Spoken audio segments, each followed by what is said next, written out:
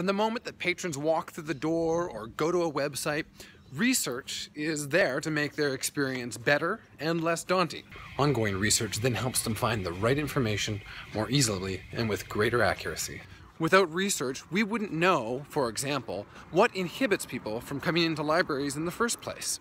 Through research, we know how to make libraries more accessible. We do things. We do things like improving signage and wayfinding.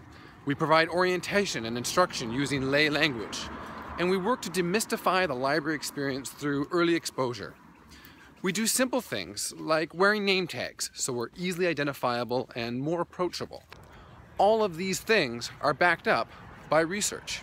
So the question is, why is research important to the library and information profession? Well, without research, we wouldn't know how people access and utilize information.